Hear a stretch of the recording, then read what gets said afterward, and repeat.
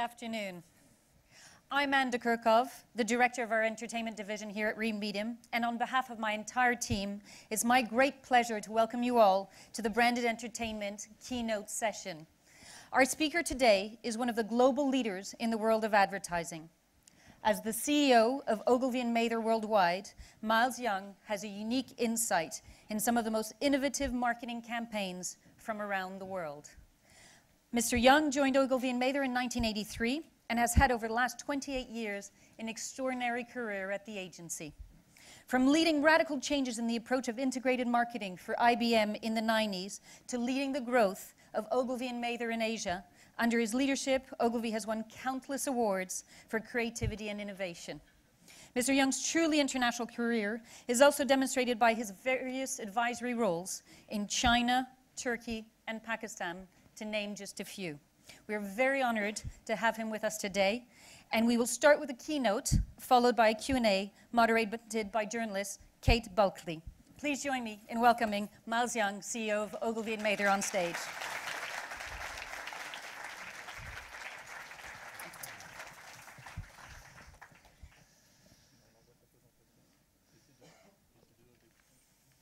Thank you so much, um, and for those lovely introductory remarks, and thank you so much for inviting me here to be with you. We're honored to be here, and in particular to have been the partner of MIPTV, not only for the past five years, but also for this year in terms of an expanded presence, um, which has resulted in this Brand Entertainment Summit, in the panels, the matchmaking, the screenings, and finally, which will culminate in an award for the content brand of the year. Actually, only a few years ago, um, clients, of whom there are a very good representation here today, and agencies, would have been barely present at this event, if at all. But today, um, the morphing of the businesses of marketing, advertising, entertainment, and all the associated production industries actually, by necessity, bring us face to face. We have no other choice. There's a reordering at work in the world. We all know it, it's a kind of cliche, but the tidy constraints um, which describe the universe of media marketing and commerce so neatly have exploded into chaos. So, all the ways in which we used to work in the past, where brands rented effectively mass audiences and help to subsidize both programming and production are no longer certain as those audiences dissolve from well regulated planets into masses and millions of fragments. At the same time, consumers, erstwhile somewhat mild mannered, have become increasingly sophisticated and weary of having messages just pushed at them. They're talking back, sometimes as cruel critics, as cynics, but also as contributors, and mostly, most importantly of all, as conversationalists. So, in my view, we are witnessing the end of the age of the huckster, where commerce seemed fundamentally force fitted into the world of content. Remember Wayne's World? Wayne. Listen, we need to have a talk about Vanderhoff. The fact is, he's the sponsor. And you signed a contract guaranteeing him certain concessions, one of them being a spot on the show. Well, that's where I see things just a little differently. Contract or no, I will not bow to any sponsor. Sorry you feel that way, but basically it's the nature of the beast. Maybe I'm wrong on this one, but for me, the beast doesn't include selling out.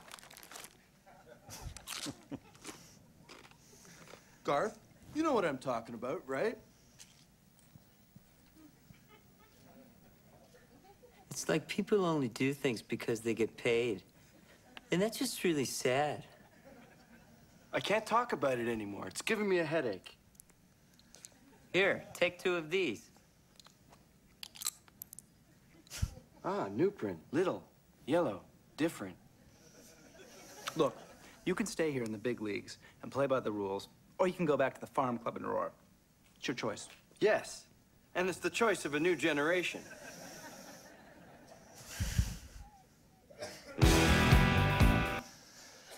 Now, the underpinnings of the chaotic convergence of advertising and content are twofold. First and foremost is the digital revolution. The impact of digital simply cannot be overestimated. It made media truly cross media. It created a billion channel universe. It enabled an explosion of expression from blogs and tweets to mixes and mashups. And for us here at MIP TV, it's opened the floodgates on the production and dissemination of video. So YouTube reports that 36 hours of video content is uploaded to the site every minute. If you can do maths quickly, that's a day and a half of viewing every second, or 90 days an hour, or more than a year's worth of video content every two days. Well, we all talk about digital, but while the uh, phenomenon is well understood, maybe the impact for content is often less talked about, partly because we tend to view the new in this industry with unbridled enthusiasm. Ironically, to my mind, it was a sociologist who wrote well before the invention of the internet in the 1970s and 80s who actually diagnosed the effect of the fragmentation of media and the proliferation of information. His name, rather oddly, was Professor Orrin Klapp. But he coined a phrase and he called it um, the meaning gap. It's such an important phrase. And in his words, he said, as the quantity of information increases, so too does our inability to extract meaning from it. We have moved into an era of cognitive overload where our brains lose the ability to encode.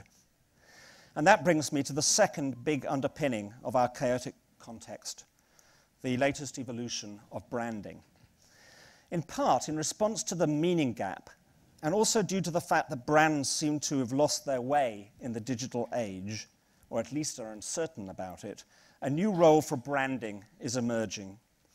The good news for brands is that they are coders of information, compressing and expressing logic and emotion in the codes which we more conventionally call brand images. So, in a world where meaning is deficient, brands create meaning. And all of our research shows that brands which connect themselves better to cultural trends or truths are stronger anchor points for consumers, and that they are convincing because they have a coherent point of view about the world. They add meaning. Now, we used to be focused as an industry just on finding the big idea. But at Ogilvy, we often talk now about the big ideal. What a difference one small L makes. A brand with a big ideal believes in something.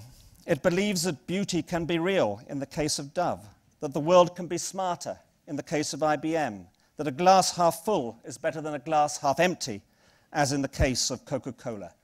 Our research shows that brands with stronger points of view, such as these, have superior voltage, which is the best predictor of actual market share. So it is the role of brands to bridge the meaning gap, and we can start to see a new order coming out of the chaos. Now, to come to branded entertainment, which was the title of my speech, there have been attempts to describe how branded video fits into this new world. One such attempt was made at Cannes here, in fact, last year, but at the Lions Festival.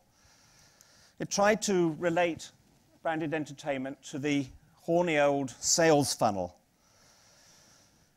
They saw a, a distinction between sponsored content, branded content, and product content, moving down a funnel from impressions to views to engagement to action. I so do not like this model. Does it mean that product videos don't make an impression? Does it mean that sponsors ones, sponsored ones don't engage? And by the way, it's all a brand effect, not just the middle bit. But what this suggests to me is that we, in this industry, have a colossal vocabulary problem. Is there a difference between branded entertainment, which I was given as my title, and branded content? If so, what is it? Are they the same as sponsorship? Is product placement branded content or branding content? What is edutainment, by the way? Is viral video branded entertainment? Frankly, until we sort out our terms, it's difficult to see how we can be treated seriously as an industry. I've got a very pedantically tidy mind, so here's my starter for 10. I'd rather use the term branded content to describe what we do. I think it much more precisely defines the needs of a contemporary brand's ecosystem. Not all the content that we need is purely entertaining. We need entertainment in all its forms comedy, drama, and music. But we also need documentary content, which, while it tends to be engaging, is not there primarily to entertain, but often rather to explain. John Grierson, the great pioneer of the documentary film, described it as the creative use of actuality. Branded content draws upon both video as entertainment and video as documentary. Once we've established that, we can start to make sense of the rest and create a kind of taxonomy for branded content. I call it my content cabinet. Look inside and you'll see four boxes. The first box is what I would call leveraged content. That is classically product placement, where the brand, not the product, leverages value from inserting itself in a content property. The next is sponsored, where the role of the brand is to support and gain endorsement from content, including from celebrities. The third is partnered, where the brand collaborates on the development of the property, sharing production, promotion, or distribution. And the fourth box is originated, content that is created solely by the brand. So this content can be either documentary or entertainment, thus making eight boxes in the content cabinet. And we can allocate properties to the compartments of this and turn it into something more akin to a normal chart.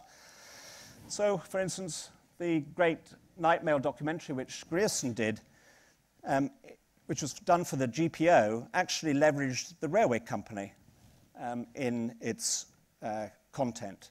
Uh, I Love Lucy, the classic medium for uh, product placement, in the 50s and 60s placed everything from cigarettes um, to cars um, within it, and so on. Both of these examples go to show that there ain't nothing new under the sun. But what is new is that the new generation of branded content is being digitally conceived and not just digitally executed. That's because the branded ecosystem demands it. In particular, it demands that any content property has now to be multi platform not just operating in one media dimension. It means that rather than just deliver to the audience, it has to be two way, capable of turning into a dialogue or a conversation, often in real time. And it means it has to be part of a closed loop which links back to some sort of measuring system. How does it translate into preference and purchase? Otherwise, quite frankly, why are we doing it? To me, these three things are what distinguish new branded content from old. This is where brands create their own ecosystems of content to capture and sustain their meaning for customers. The content ecosystem for a brand, which we would handle today, depends on a critical construct, that of owned channels, social channels, and external channels, all organized around a big ideal. And here is one such typical content system own channels, social channels, and external channels. This is what we are producing content to live in. And it's in this ecosystem that we have to provide the furnishing. It's important to understand that it's not a random thing anymore. It is or should be meticulously and carefully designed. What we produce here in this room must follow the needs of the ecosystem, not vice versa. There's something else also and that has to do with the relationship between story and strategy. Storytelling and strategy delivery. In the old days, advertisers used to hitch onto someone else's story, which may have had little or no connection with the brand's belief system. Today, as we do more and more partnered and originated content towards the right hand side of the chart, we have more of a need to give the brand a natural role within the story. But at the same time, there are greater risks, chances of missing the mark or amplifying an affiliation or attribute that is off strategy and contrary to the brand's belief system. So we, the television industry, the branding industry, come together in this shared space, and it's incumbent for content producers to understand the degree of refinement which has become intrinsic to global best practice in branding. Brand marketeers know the drivers of impact and persuasion, and they know them through the filter of the brand persona. And anyone who lives through the amount of testing which just 30 seconds of advertising tends to be submitted to routinely before it airs will know exactly what I mean. Equally, it's essential for those of us who do branding to listen and understand how narrative can engage and enthrall those who are primarily um, storytellers. If we do this right, we have a chance to find the perfect intersection, the best balance between the power of the story and the discipline of strategy. Now, to illustrate how this new world works, I want to show some recent examples, and they're all very recent. The first is how IBM leveraged the game show Jeopardy to ensure its Watson um, computer was not only a contestant, but a contestant which um, won. Why would IBM consider doing this? Why would the world's most respected technology company want to compete in Jeopardy? Well, actually, Watson involved assembling a vast database of knowledge from ranges of domains of human experience, and then applied deep analytics and complex systems theories in, in very radically new ways. It became, if you like, a living avatar of our smarter planet belief system around which IBM's image has been restored and rebuilt. And the team at Ogilvy was engaged in creating this avatar's personality, um, bringing it to life with human like qualities. And if you haven't seen it, this is what people saw.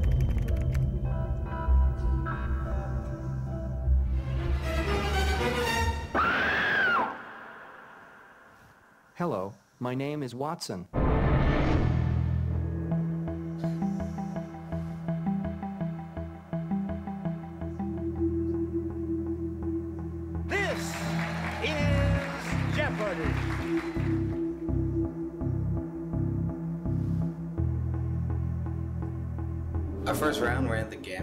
Everything from robots to cartoons. We ended up building the avatar to look like it came from the series of Smarter Planet icons. It had to almost evoke what a contestant might go through.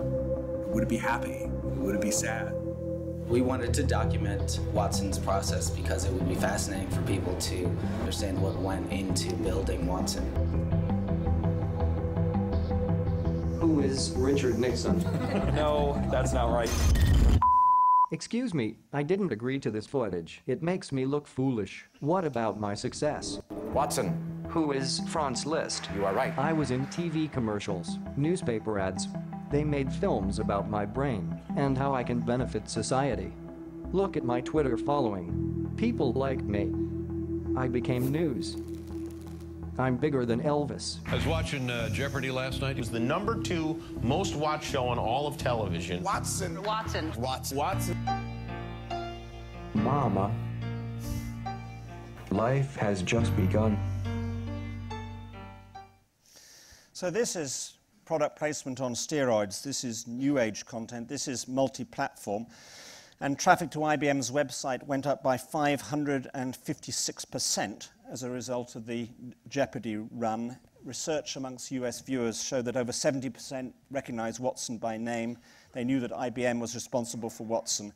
They had a more positive view of IBM as a result. And it's a perfect balance between story and strategy and a perfect link into IBM's Smarter Planet digital ecosystem. Another example from the cabinet would be sponsored entertainment. China is exploding in this uh, area, and perhaps one of the very best cases is the work that we have done for um, China Mobile, um, by some measures, the world's largest brand. Our client uh, there has got a youth product called M-Zone, and uh, M-Zone has had an eight-year relationship with Jay Chou, um, who is a musician, a singer-songwriter, a film producer, an actor, and a director. This is him if you don't know him.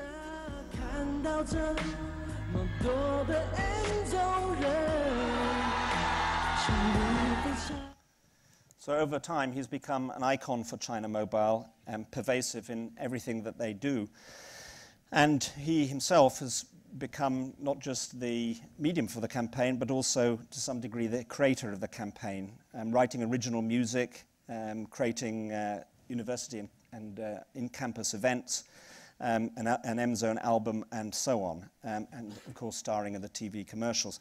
But this content is also multi-platform. It's also highly conversational, and it has helped create um, the M-Zone generation, as they're called in China, a, uh, a generation of funky netizens uh, who participate in this digitally uh, enabled uh, and uh, exciting zone that uh, Jay has created for them. And here's an example of a sponsored documentary uh, for DuPont.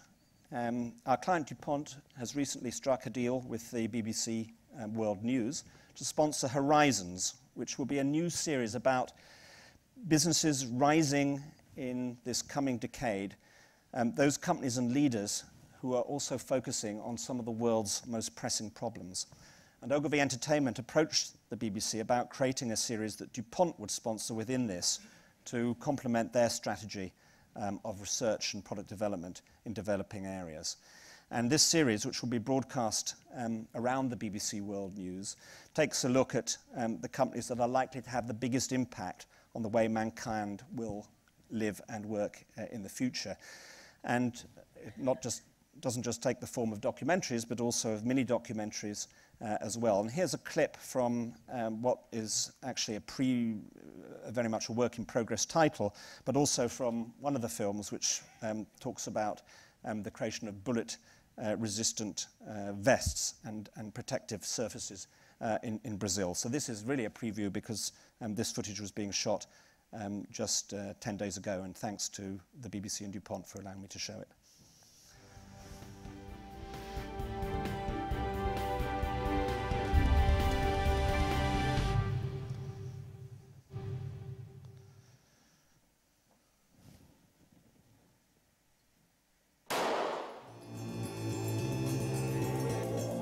Foi o primeiro dia dele de trabalho depois das férias. Quando eles entraram numa rua, eles já depararam com um bombeamento. Foi onde começou o confronto e deu, deu início à troca de tiro. Ele foi alvejado. Eu fiquei imaginando eu reiniciar uma vida sozinha, com três filhos para criar e sem ele do meu lado.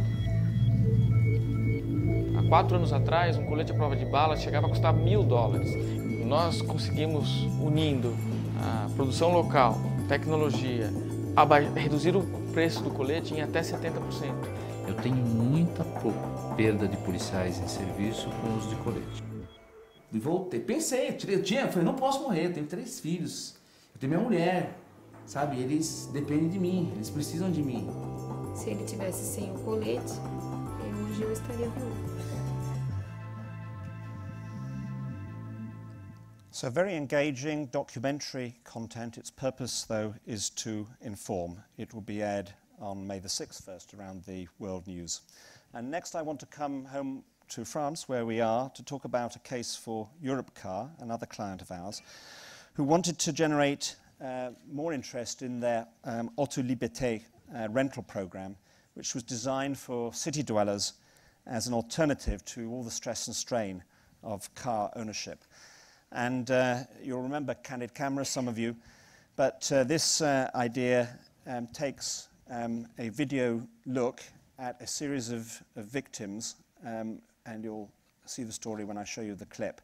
Um, they were carefully chosen so none of them will be disabled by the experience, and you'll understand why. Let's look at Europcar, originated entertainment.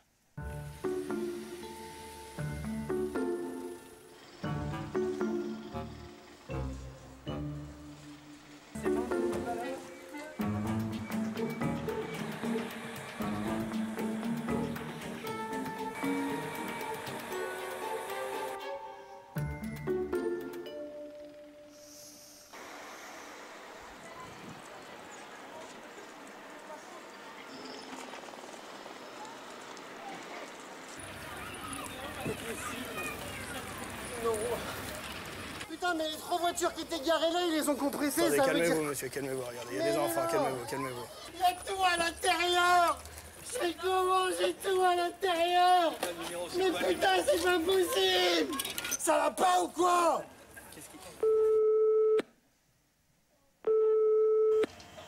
autorité réglementaire pour l'équilibre automobile. J'écoute. Oui, c'est quoi ça J'ai un avis de compression de ma voiture. Oui, vous étiez garé où Dites-moi. Mais j'étais garé sur le parking Val d'Europe là, c'est quoi cette histoire Votre véhicule rentrait dans le plan de réduction du parc automobile Mais pourquoi Mais on m'a pas prévenu Il y a un sac à l'intérieur Je le récupère comment Il est où mon sac Puis franchement, votre voiture, vous n'avez pas vraiment besoin. Surtout une voiture rouge, c'est tellement années 80. On rentre en bus ou on va vous trouver Mais je quelque veux chose. pas rentrer en bus, putain de Ah là, vous merde pouvez pas monter là-dessus. Hein.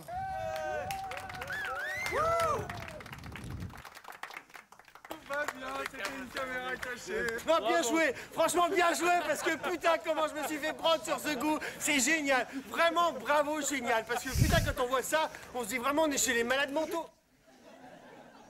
So thankfully, not one of those real people uh, carried a grudge or had a heart attack. Um, but uh, the result of what was a, a cross-media effort, the radio station was involved, of course, was amazing. And that video, in fact, there were six, I think, um, similar to that, received two and a half million views just in, in, in, one week. Um, uh, so uh, website traffic um, increased by about 300%, um, and the subscriptions to Auto Liberté increased by 83%. Uh, this is the power of content and a great intersection of story and strategy. And the next examples I want to show for UPS. First of all, some um, sponsored um, documentary content. We won the UPS account about 18 months ago, and the basis on which we won it was to help them shift from being a transactional package distribution company in perceptual terms, which they were not in real terms, uh, into owning the high ground of logistics, a major platform shift. Um, logistics being something that makes the world go round, um, that helps business achieve its objectives. And branded content has been a very, very important uh, plank of what has been uh, a successful um, repositioning. Um, firstly, uh, uh, in terms of sponsorship, and one example of this is some fantastic sponsorship which we did with National Geographic, um, creating an original series called Great Every Migrations. fall, the red crabs of Christmas Island undertake a great migration made possible by great logistics. They have limited time to ensure the survival of their species. Departures are synchronized. Contingency planning overcomes obstacles. And just in time, they deliver their eggs. In their world, just like ours, on time arrivals depend on logistics. UPS is a proud sponsor of Great Migrations on the National Geographic Channel. So actually there are some very innovative camera techniques uh, and, and production techniques there. But what we're doing, of course, is to give some new meaning to the word logistics by aligning it with the natural and instinctual uh, movements of various um, species. So again, story and strategy um, perfectly aligned. But also for UPS, uh, we have originated content, particularly documentary content. Um, if you go into the uh, digital ecosystem of UPS, you'll find it populated with this sort of content. Here's just one example from Mexico, um, where we um, look at a company that makes um, the little plaster models um, which are sold around the Mexican Day of the Dead. Nuestra empresa está en Cuernavaca. Al estar cerca de México, la logística es mucho más fácil, es todo centralizado, es más fácil conseguir clientes y materia prima. Contratábamos compañías de logística para mandarlos a diferentes localidades. Desde Laredo a veces mándalo a Nueva York, o Houston, a Los Ángeles. Pero nos encontramos que pues estaba enfocado UPS estando en lo que nosotros necesitábamos y nos olvidábamos absolutamente de, de toda la logística. este producto y le hemos permitido a empresas como Grupo Red eh, incrementar su número de clientes, incrementar su facturación, ser más exitosos ellos y ser más exitosos nosotros. El cliente lo ha notado que, que la calidad So this sort of content is again documentary content. It's probably a little bit closer to um, advertorial, but it is fundamental to what we have to furnish that content ecosystem with. Masses and masses of useful video content which is accessed, used, and then which links back to some measure of uh, demand generation and ultimately leads. Another example is investment. classified ads that made 30 to 40 dollars profit in a week, and I placed those ads in around a thousand other newspapers around the country. That's how I generated over $50,000 a week out of my one bedroom apartment. And in my Making Money package, I'll show you some secrets about placing ads that's going to make you wish you started doing this five years ago. That's what we hate, and this is what we did for TD Ameritrade. What would you say are your main areas of concern when it comes to your finances? I am concerned about the fact that I'm spending my entire checks month to month. Oh my god, it's $94. It's 54 bucks. Oh my god, That's what we're spending. If you don't understand what's going on with your financial life, then you really don't understand your life. Boys explain stocks in a very visual and um, tasty way. Each of these Spies is a company. Okay. A stock is a slice of that company. We're slowly building a portfolio. So, I have purchased some of that company, Yes. but I'm not diversified now. No, you're not. When you diversify your portfolio, your money's spread out all over the place. In other words, you haven't put all your eggs in one basket. I think it is a great thing that I'm starting to be educated about my portfolio. So, like I'm looking at it and I'm realizing that all the information exists. It's not like it's just floating up there and I can't put my hands on it. Welcome to The Invested Life. Visit theinvestedlife.msn.com to get started. So the first clip evokes very well the whole tone and world of the huckster, but what we were trying to do here was to, through content, tell stories of real people's experiences in managing their money, showing them with investment advisors and documenting their journeys um, through the world of investment.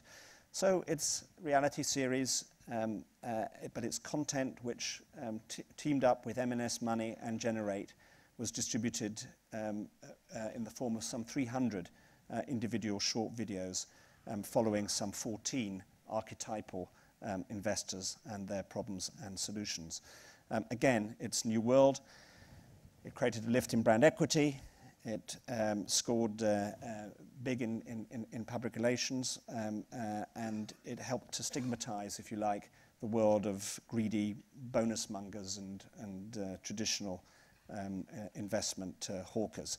Um, TD Ameritrade has become the good guy, helping people to become better investors.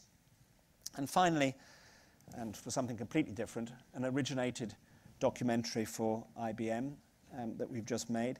This year is IBM's centennial, and to mark this, um, we work to research and list the 100 most iconic projects which the company had participated in during its history, one for each year. And from those, we selected eight of them and commissioned um, Errol Morris um, and also Philip Glass to do the music um, to tell us those stories. So this went onto the website. Um, uh, it quickly went viral, um, reposted on blogs, um, a huge U YouTube hit, um, and uh, that's all for a 30-minute um, documentary.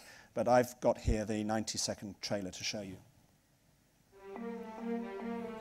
Tom Watson Sr. used to go into the lab at Endicott when that was the only lab they had, and he would corner some young engineer and he'd say, What do we sell? The young man would say, Punch card machines, sir. No, no. We sell a service that satisfies. 60 years ago, IBM was using technology in the defense area, and could that be applied to solve this problem that the airlines had of making reliable reservations? National Geographic came to us and proposed the idea to reconstruct the entire human family tree. When Kennedy announced we're going to go to the moon, that was a thrilling proposition to me. We were selected to go work on a top secret project. The grocery industry decided to put scanners in grocery stores. The task was fairly daunting. I discovered this amazing world which was there, absolutely waiting.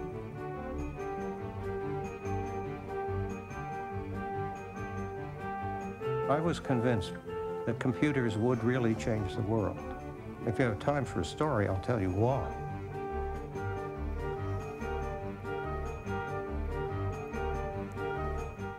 Quite beautiful, isn't it? And uh, again, um, a perfect balance between story and strategy, and a perfect contribution to the Smarter Planet uh, content ecosystem which we have constructed. So all the cases that I've shown this evening represent in some form or other this new world of branded content. And it's no coincidence that they tend to be originated or partnered, the last two boxes in my neat little cabinet, because that's the territory of the future, I believe. None of them were conceived of in isolation. They were all seen as part of some strategic purpose. Whether they are entertaining primarily or useful primarily, they are all purpose driven. They all aim to allow the brand to converse with the audience and vice versa. They all fulfill a strategic agenda, agenda in the digital age. They help bridge the meaning gap and project the brand's ideal. And they all reflect the movement from the world of singular messages to the world of mutually reinforced, multi-dimensional content. They are all far beyond brought to you by. Some commentators have sought to simplify the convergence of our industries as a headline about Hollywood and Madison Avenue. I hope I've shown that the opportunity is much bigger and much more complex. The cabinet of content which is open to us spans many diverse types and models. As creative agencies and as digital strategists, we, the agencies, have a new role much more akin to that of a publisher. We bring consumer understanding and information architecture to the party. As producers, you bring the art and craft of storytelling and an understanding of the economics and logistics of making the content successful. But in doing all of this, let's remember that it's all about the nature and quality of that content. And in the words of our founder, David Ogilvy, who also celebrates a centennial this year, which we will mark in June, what really decides consumers to buy or not is the content of your advertising, not your form, not its form. Thank you very much indeed.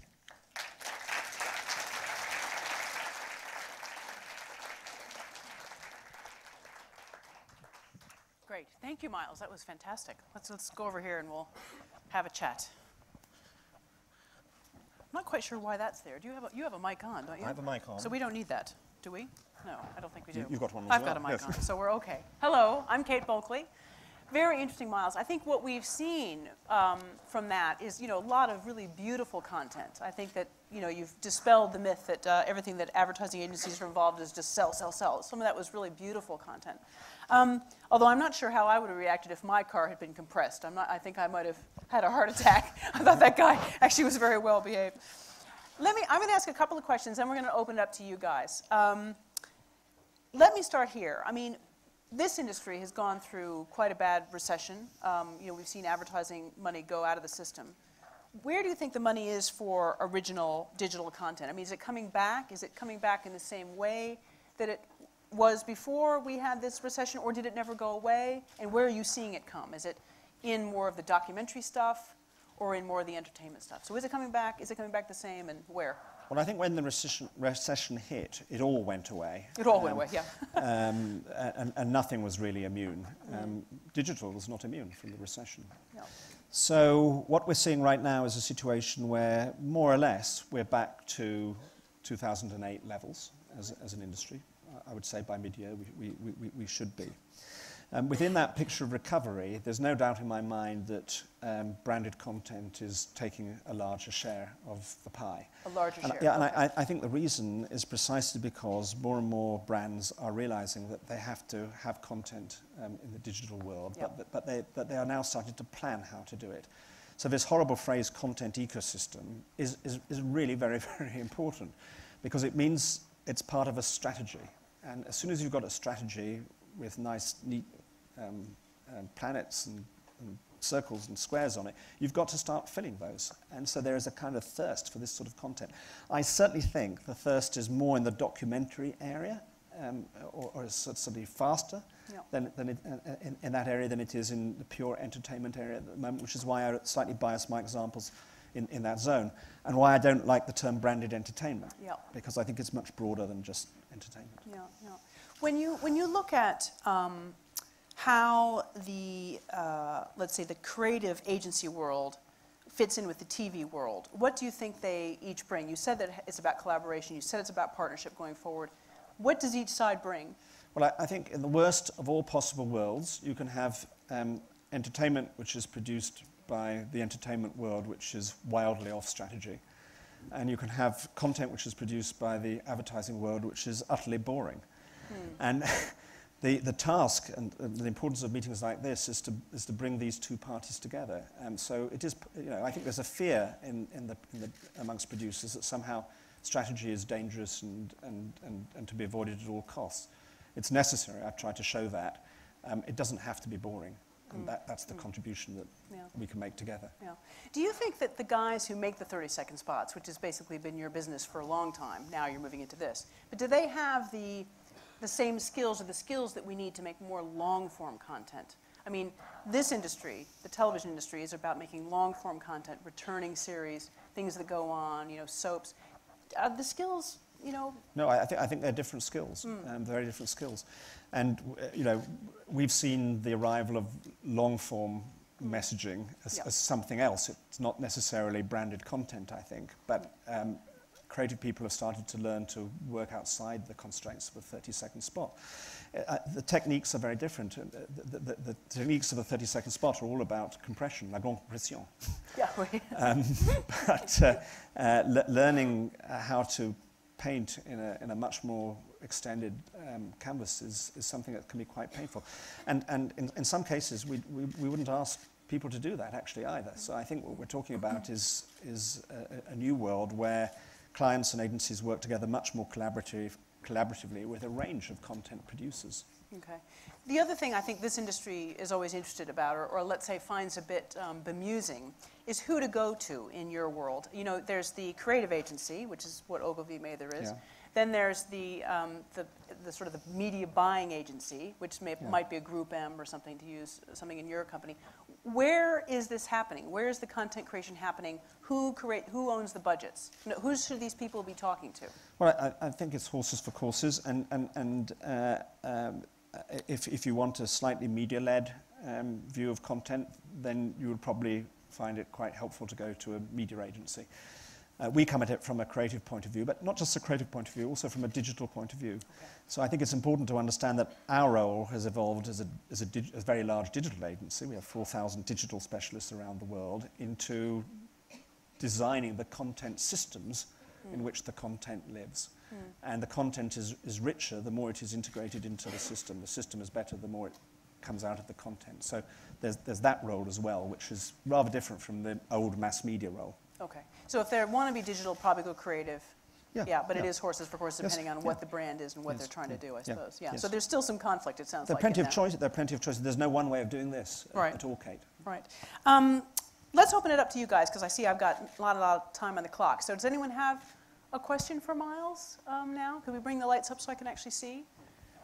Somebody have a question for? Uh, no. Yes. Yes. Sorry. Go ahead. Yes. Sorry, I couldn't see you. Could you get the mic to that lady there? Is there another question I can queue up while we're getting that right there? So we're going to get the second mic to this fellow.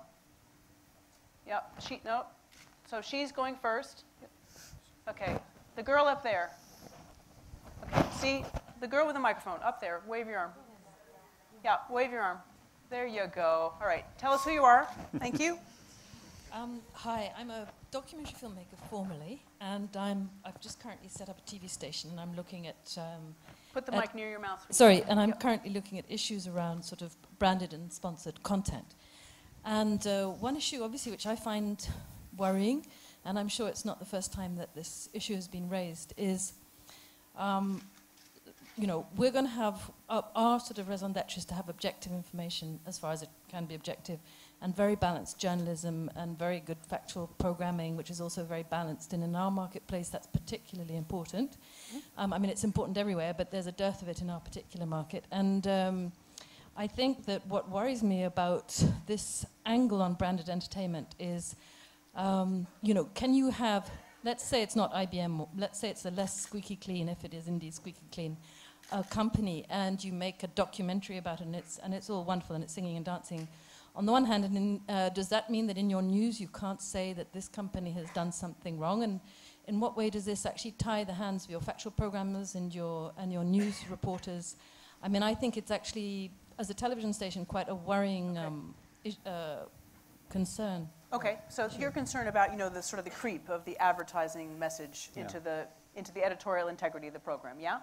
Or Of, the- of a the channel, let's say. I Of mean, where channel, does it? okay. wh- how does a channel stand? You know, when it's Great, thank you very much. of? I mean, I, I'm not sure that you know this is any different from what we've lived with for years, Mm-hmm. which is the role of advertising within um, channels.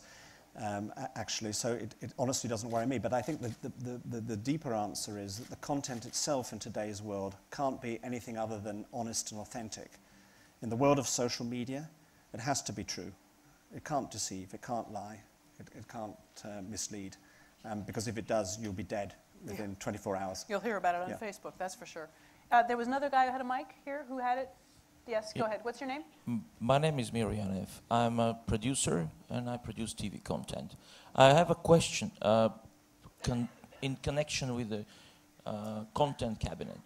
How do you see the, the branded content into the scripted formats? The entry of the branded content into the longer formats, like movies and miniseries. Right, so Thank from you. the shorter form to the longer form. How do you see that? From the brand, get branding money or branded content into longer form pieces? Yeah, I think it, it, it, it, it- no, there's a cost issue here. Uh, and most of the examples I showed are long form by our definition, but they're still relatively short. So at the end of the day, we, we, we have to be realistic. Um, a brand has a budget, um, the budget has to pay back, and large capital costs are difficult to justify. Um, now, uh, uh, uh, uh, there will always be blockbuster ideas which make it worthwhile. Um, but we have to be careful because I think they're extraordinary rather than the norm. Hmm, hmm, Good, good answer. All right, now I, the clock says zero, so I don't think I'm going to take any more. So could you please join me in thanking Miles Young, CEO of Ogilvy and Mather. Thank you very much. Thank you, Kate. Thank you very much. Thank you very much.